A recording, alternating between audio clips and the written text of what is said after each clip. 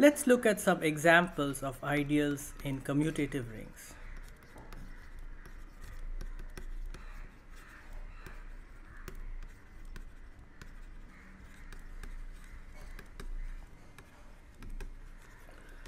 Recall that an ideal is a subset of a ring R such that if X is in I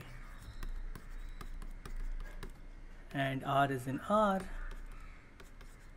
then R X is also in I. So it's closed under multiplication by elements in R.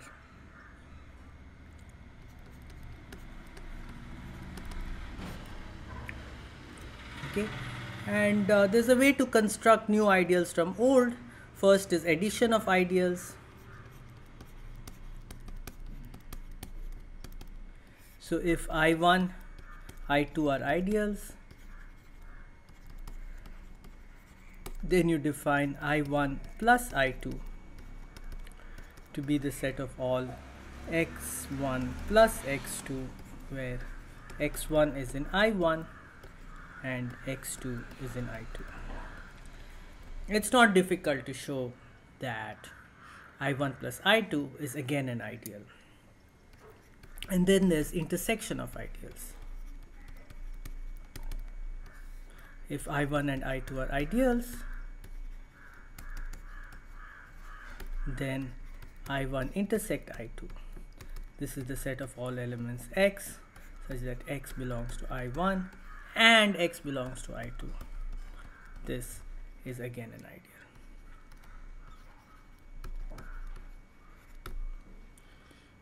Okay now we look at some examples of rings uh, where we can classify all the ideals so the first example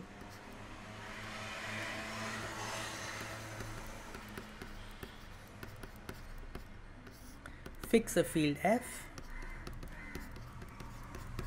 and a set X. Um, let's say finite set. And uh, let f box x be the set of all functions f from x to f.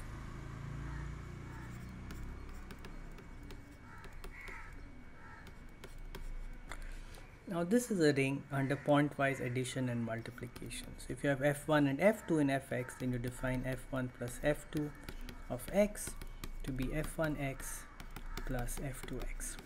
And you define f1, f2 of x to be f1x times f2x. And under this, uh, these operations of addition and multiplication, fx becomes a ring. Now let me give you some examples of ideals in this ring. So if M is a subset of X,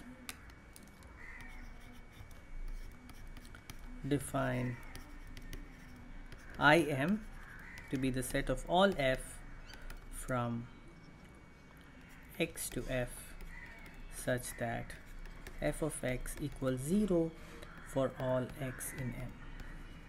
So this is the set of all functions whose restriction to M is identically 0. Now if you have a function which vanishes on m and you multiply it by any other function whatsoever, then the product will again vanish on m. So this is an ideal.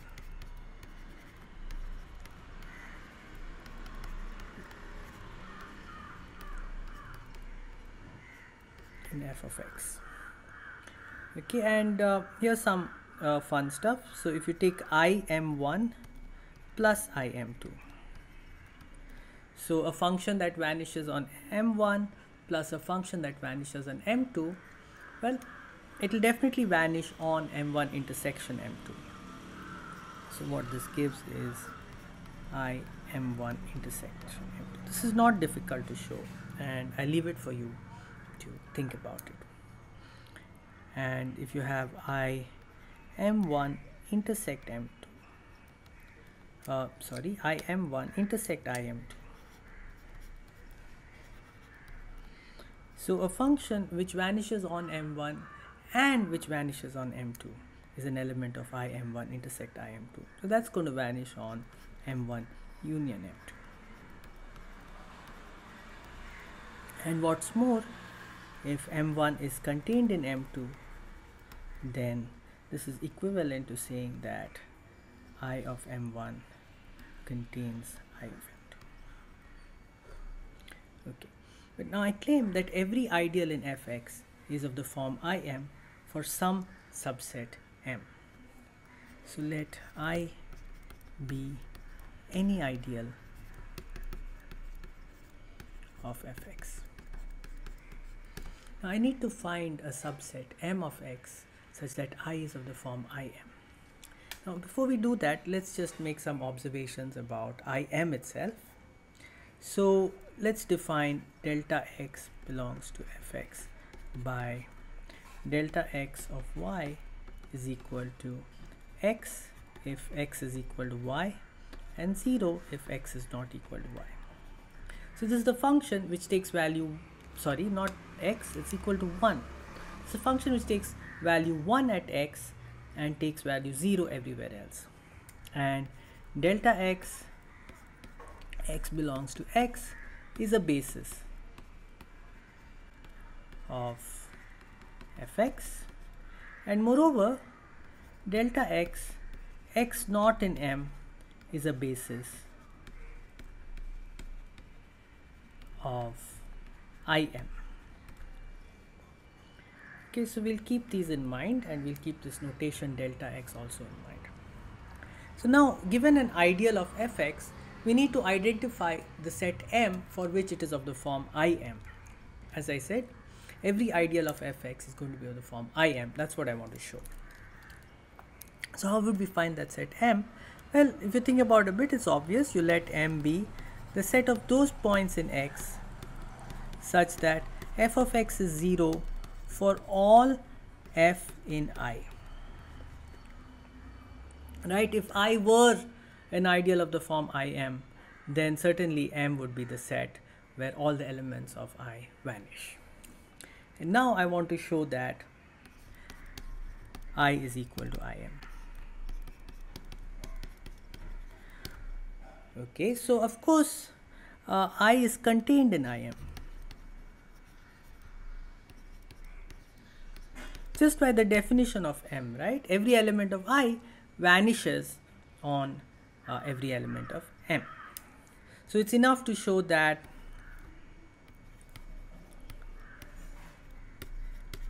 IM is contained in I. And for this, it's enough to show that delta x, where x does not belong to M, is contained in I. Because delta x x naught in m is a basis of im. Now delta x, so suppose x is not in m, then there exists f in i such that f of x is not 0 right? Because m was a set of points where all the elements of i vanish. And uh, then you can just look at the function f times delta x um, divided by the scalar f of x. Okay so f of x inverse times delta x f. Now let's evaluate this at y. So if y is not equal to x then delta x of y will vanish. So this will be 0 if y is not equal to x. And if y is equal to x then you'll get delta x is 1 f of x is f of x uh, f of x times f of x inverse is 1 so if y is equal to x. So this is equal to delta x. Okay so but I obtained it by taking f and multiplying it by some elements of the ring fx so what we get is that delta x belongs to fx for all not to xx for to belongs to i for all x not in m which implies now delta x as x runs over elements not in m span im so which implies that im is contained in i. Hence we conclude that im is equal to i. And so the conclusion is that every ideal of fx is of the form Im for some subset m of x. Okay, now here's an extra credit question for you. How much of this theory will hold if I allow x to be an infinite set? Okay, in this example, I've only taken x to be a finite set. So think about it. Example 2.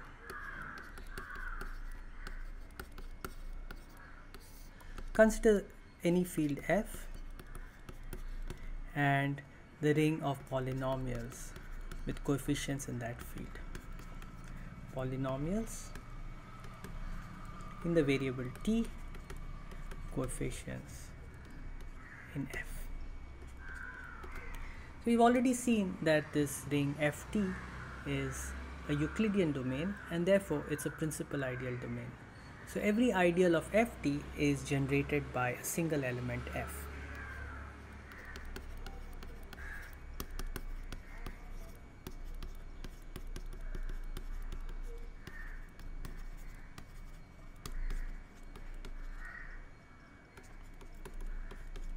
So the principal ideal generated by f for some f in ft. Also we know that the ideal generated by f is equal to the ideal generated by g if and only if f is u times g for some unit u of ft. What are the units of ft? The units of ft are non-zero constant polynomials.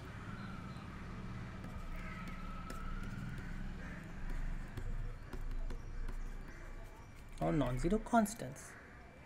Now recall, a polynomial is said to be monic if its top degree coefficient is equal to 1. Now given any polynomial, you can make it monic by just dividing it by its top degree coefficient. And therefore, every ideal is generated by a monic polynomial. Moreover, if two monic polynomials generate the same ideal, then these two monic polynomials would differ by a unit, but that unit can only be one because both of them have the same leading term. So what we conclude is that ideals of ft are in bijection with monic polynomials.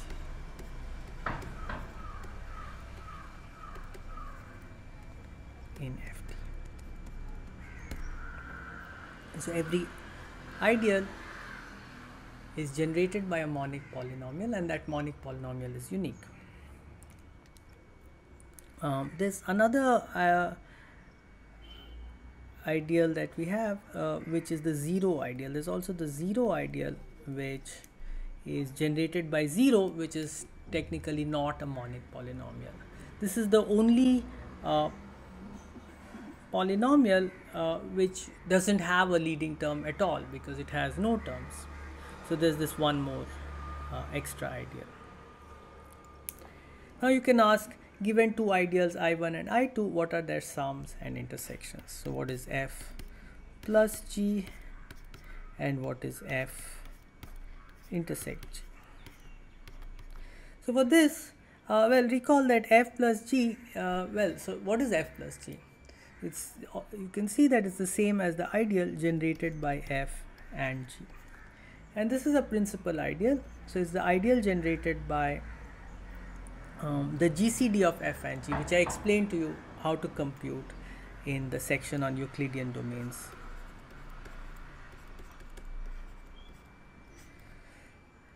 And the ideal generated by f intersect the ideal generated by g is the ideal generated by the LCM of f and g where you can define the LCM of f and g as just fg divided by the GCD of f and g. I leave you to think about these two and figure them out. Now let's take a special case of this example where f is an algebraically closed field.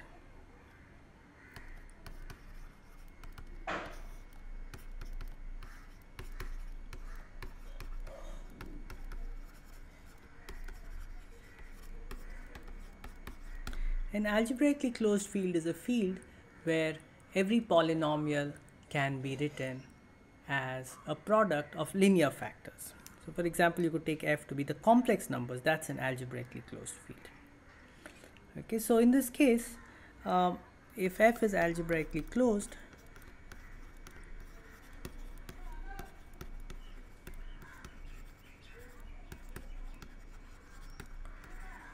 then uh, every polynomial, every monic polynomial.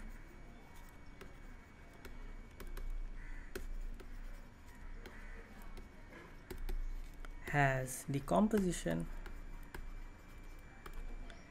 f of x equals x minus lambda 1 to the power m1 x minus lambda 2 to the power m2 x minus lambda r to the power mr where lambda 1 lambda 2 lambda r are distinct elements of f and m1 m2 mr are positive integers.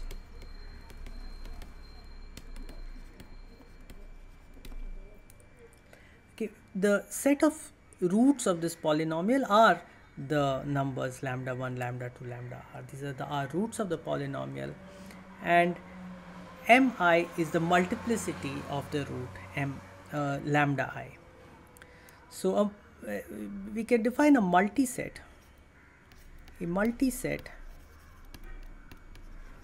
is a set of the form. Well is an object of the form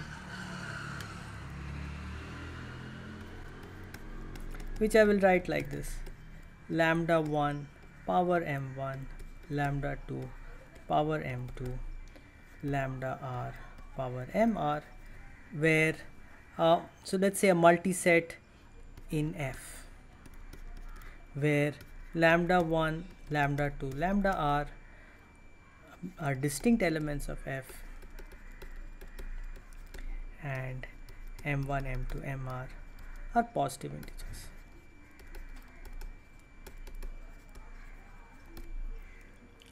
and we can talk about the union and intersection of multisets. So um, if m1 and m2 so we can call this m.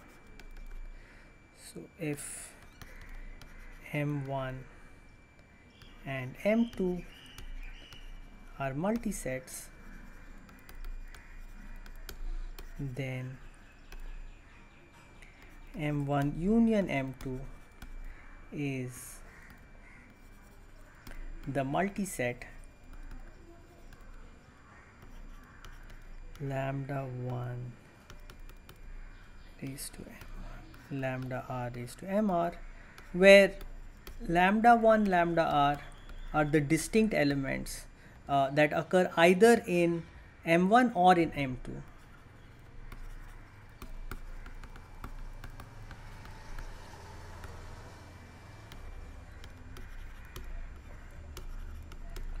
and mi is the larger of the multiplicities in m1 or m2 is the larger of the multiplicity of lambda i in m1 and multiplicity of lambda i in m2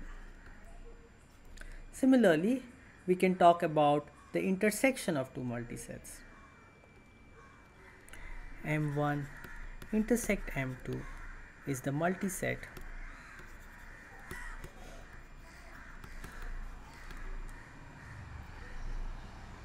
Um, lambda 1 m1 lambda r mr where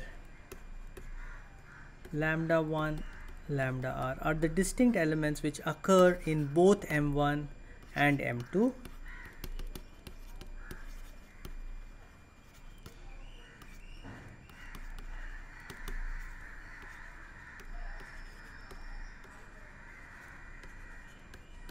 and mi is the minimum of the multiplicity of lambda i in m1 and multiplicity of lambda i in m2 so now what we have is ideals in ft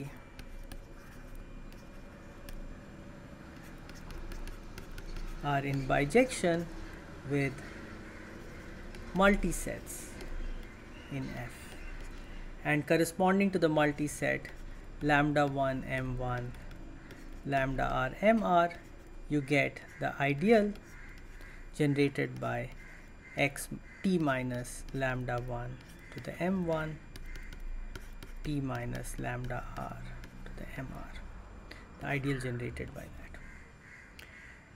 and so if we call this multiset M we can call this ideal IM and what we have is that IM1 plus IM2 is equal to I M1 intersect M2 and IM1 intersect IM2 is I M1 union I so notationally very similar to the case of functions on a finite set, but with different meanings here. And we also have that if uh, a multiset M1 is contained in a multiset M2. So what does it mean for one multiset to be contained in another? It means that the set of elements that occur in M1, they all occur in M2 and moreover, each element that occurs in M1 occurs with a multiplicity in M1 which is less than or equal to the multiplicity with which it occurs in M2. And what we have is M1 is contained in M2 if and only if IM1 contains IM2.